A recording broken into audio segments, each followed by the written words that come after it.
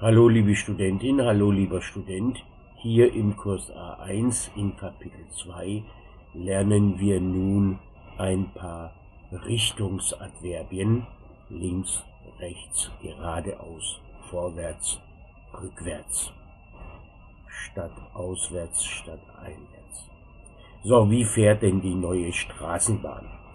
Die neue Straßenbahn fährt nicht geradeaus, sie biegt auch nicht nach rechts ab. Sie biegt nach links ab und fährt statt auswärts.